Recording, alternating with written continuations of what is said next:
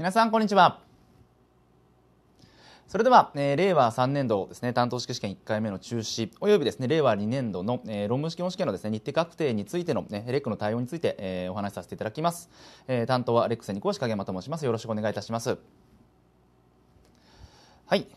えー、先週の金曜日ですねえー、監査審査会の方からですね発表がありまして、まあ、ご存知の方も多いと思いますけれども、えー、令和2年度の論文式本試験の日程が確定し、まあ、そして、まあ、少し衝撃的だったのがですね令和3年度1回目、えーまあ、2020年の12月ですね2021年度の本試験12月試験が、まあ、1回目中止になるというですねアナウンスがなされました。えーまあ、特にですね担当式試験中止ということでここまでですね、えーまあ、12月の担当式試験を目指して頑張ってこられた受験生にとってはですねなかなかこう厳しい、えー、非常に酷なですね、えー、決定だったのではないのかなということで、えまあ、思うわけですけれども、ねえ、なんとかね少しこう気持ちをなかなかちょっと切り替えられないと思うんですけれども、ね、次の、まあ、5月試験ですね。令和3年5月試験に、まあ、切り替えて、えー、なんとかね少し勉強をこう進めていただきたいなというところで、まあ、レクノもですね、えー、最大限、まあ、その12月をですね目標とされてきた方のですね、バックアップさせていただきますので、えーまあ、本日の動画ですね、それについて少しお話をさせていただきます。はい。で、えー、まずはですね令和2年論文試験本試験に関してですけれども、えー、まあ従来ですね令和2年論文試験本試験は11月にですね、えー、実施をするとで詳細はですね、えー、今後またねアナウンスしますよというところで、えーまあ、5月にアナウンスがありで、えー、先週の金曜日ですね6月末のですね、えー、段階で、えー、11月の14、15ですね、えー、土曜日と日曜日の2日間の実施ということに決定されたというアナウンスがありました。はい、で、えーまあ令和2年のですね論文を目指されていた方はですね、えー、まあおおむねその11月あたりをですね目標とされていたので大きなまあ、変更というものはありませんがただ、えー、実施日程がですね3日から2日になったというところで、まあ、ここは、まあ、日程自体のですね、えー、その時間間隔っていうところは、えー、あまり変わってないと思いますけれども、まあ、本番ですねこう3日から2日に変更されたというところで、まあ、本試験を受けるということに関してね、えーまあ、大きなこうね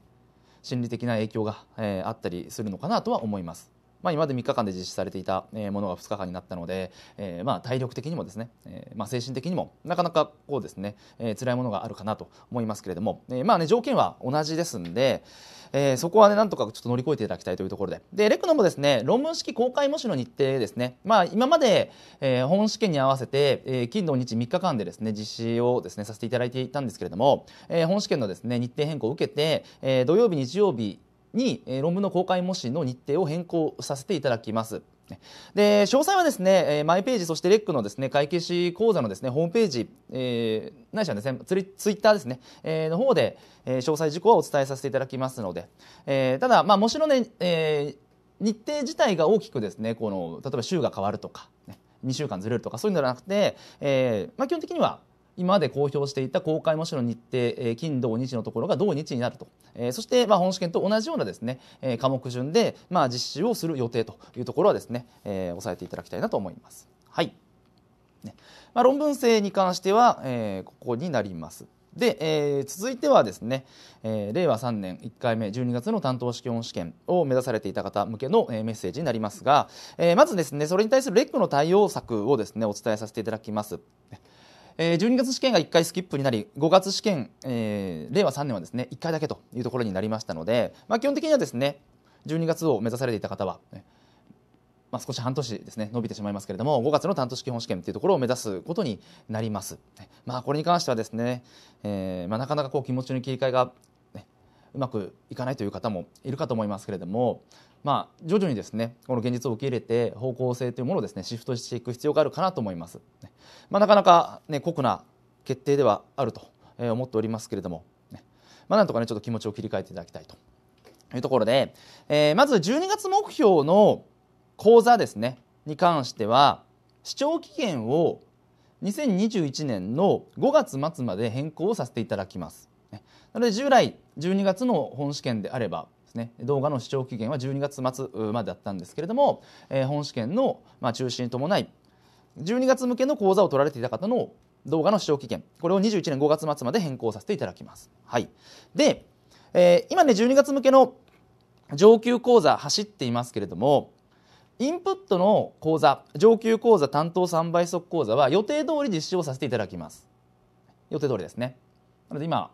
え6月の、まあ、今日ですね収録しているの29日なんですけれどももう上級講座はですね生クラス走っていますが、えー、生クラス通信ともにですね予定通り実施をさせていただきますで何かあればつまり改正対応とかのですね必要があればえー、追って上級講座3倍速講座回数増やしてですね改正対応させていただきますので、えー、その点については心配する必要はございません。まあ、一応12月向けの講座というところでしたが12月がなくなったんでで5月に入るとですね、えー、科目によってはこう試験範囲が変わったりする可能性がありますので、えー、そこはですねさらに回数を増やして、えー、対応させていただきます。はいそして次ですね、えー、12月向けのポイントアップ答練というのがありました。えー、おそらく9月のね下旬からですね担当の答練が予定されていましたけれどもあのこれもですね予定通り実施します12月に一応試験があるというですね、えー、イメージで、えー、ポイントアップ答練と公開模試は予定通り実施をします。なのでまあ12月向けのポイントアップ答練とか12月向けの公開模試っていうまあちょっとですね名目ではないかもしれませんけれどももともと12月を目指されてきた方の答練模試はそのまま実施しでさらにですね5月向けですね。5月向けの上級講座についている、えー、ポイントアップ答練と公開模試。こちらもですね合わせて、えー、受講できるようにいたします。なので本来ポイントアップ答練がですね12月向け5回公開模試1回なんですけれどももともと12月目標とされてきた方は12月のですね試験がなくなってしまったので5月向けのポイントアップ答練と公開模試5回プラス1回が、えー、丸々ついてくると思ってください。無料で受講できるように、えー、します。はい。なので、まあ、当連の方はですねちょっと回数多いんですけども全部で担当は10回公開模試は2回受けられると。で、まあ、この辺りのね当連とか模試の使い方は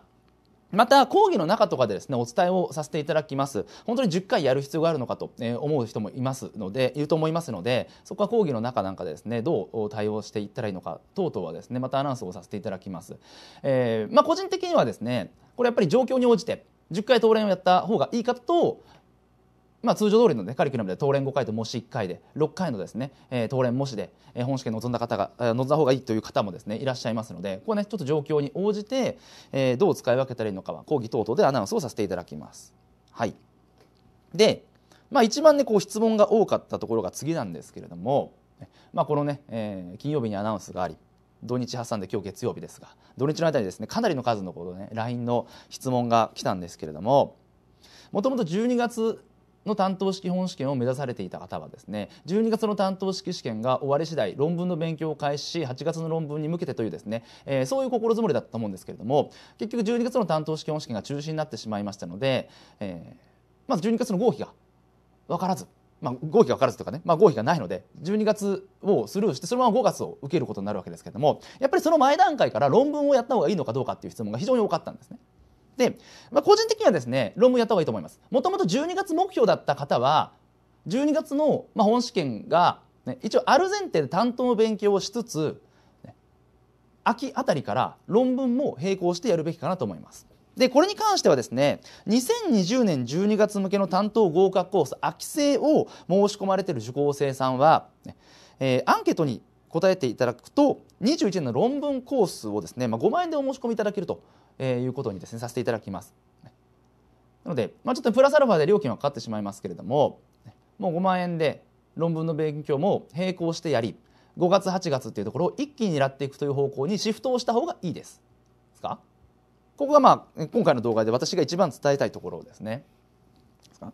もう一度お伝えしていくと2020年の12月向けの、えー、担当合格コース秋生受講生の方はですね、えー、論文のコースプラスアルファねちょっとアンケートに答えていただくということがありますけれども、えー、5万円、ね、かかってしまいますけれども、えー、論文のねえー、講座をお申し込みいただけるようにですねさせていただきますので、えー、申し込み自体は8月ですね8月に入ってから申し込みができるということですので、まあ、今すぐというわけではないですけれどもね、えー、まあ、論文のね勉強をしていきでやっぱり5月8月一気にやっていくという方がねいいのかなと思います。でもともとねそもそも令和3年5月の試験を目指されていた方は予定通りまず5月の試験に特化をしていくと。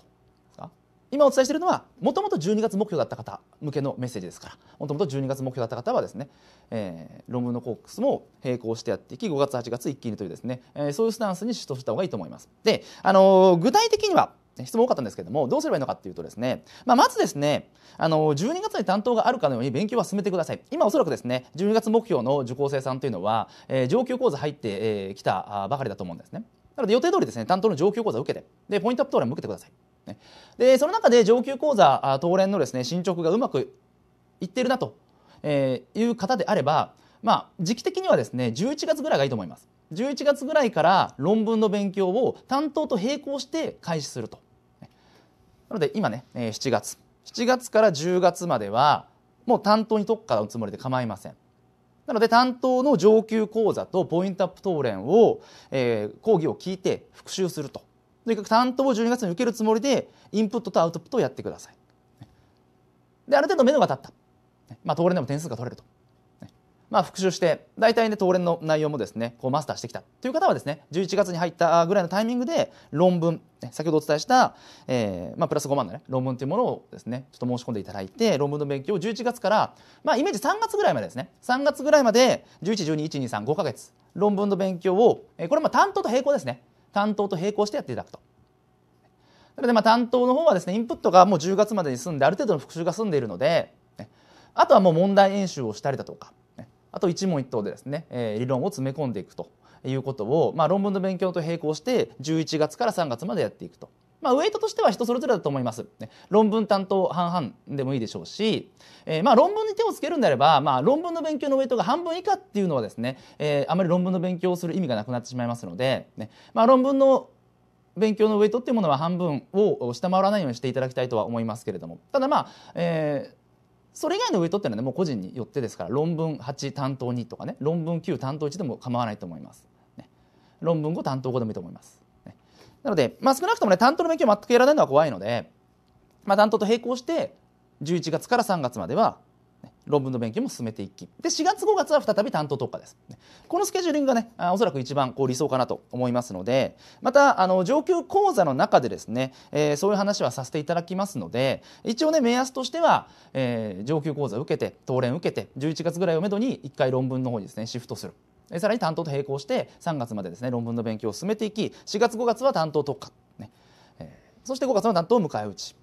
で合格したと8月の論文までですねまた論文の勉強に戻ってくるというですねあのそういう流れでいくのが一番いいかなと思いますので、えー、少しですね、まあ、12月目標の方は、まあ、少しというか、ね、相当、ね、こう間延びしてなかなかモチベーションも上がらないと思いますけれども、ねまあ、少しね、えー、切り替えっていうものをですね、えー、していく必要はありますので。なかなかまあ酷かなとは思いますけれどもなんとかねここで、えー、うまくですねメンタルの方をですね切り替えてシフトできた方がですねまたこう力つけて、えー、伸びていくということになると思いますので、えー、ぜひですね、えー、お伝えしたようなこうプランニングでやってもらえればですね5月8月一気に狙えるというところになりますし、まあ、結局ですね12月試験であろうが5月試験であろうがお尻はですね、えー、12月目標の方っていうのは令和3年の8月だったわけなのでこの令和3年8月というですね、えー、お尻は変わらない。でここで絶対ね、えー、もう合格を決めるというですね強い意志を持って進めていくようにしてください。はいえー、というところでですねなかなかまあ衝撃的な発表ではあったわけですけれども、えー、レックの方もですね、まあ、こういったあ対応策をですね取らせていただきますのでまた何かあればですね、えー、逐一、えー、ウェブアップ、えー、ツイッターの方でですねつぶやきをしていきたいとは思いますので、えー、現段階でですね、えー、決まっている内容としてはですね今お話しした内容になるのかなというところです。はいここからねまたね本当に今日明日ね、気持ち切り替えるというのは難しいかもしれませんけれども、ね、なるべく早いタイミングでですね気持ちを切り替えて、えー、5月担当8月論文一気にですね攻め落としていくというですね、えー、そういうスケジュールというものをですね自分の中に描いていくようにしてください。ねえー、でまた何かですね個別に質問等々があればですね LINE していただければですねいつでもこの、ね、相談を承りますので、えー、分からない点があればまた LINE をして、いただければなと思いますし、えー、またお伝えした通りですね講義の中でどういうスケジューリングで勉強していくべきかというのはですね上級講義の、まあ、簿記課材表の中でですね私お伝えしますので、えー、また講義の中でですねちょっとアナウンスを聞いていただければなと思います。はい、えー、それではですねえー、担当式試験の終了日ですね、論文式試験の日程確定に伴うですね、レクの対応策対応策動画はですね、えー、以上とさせていただきます。えー、なんとかね、ちょっとですね、気持ち切り替えて頑張っていただきたいなと思っておりますので、えー、一緒にですね、必ずこう5月8月ですね、倒していきましょう。以上となります。お疲れ様でした。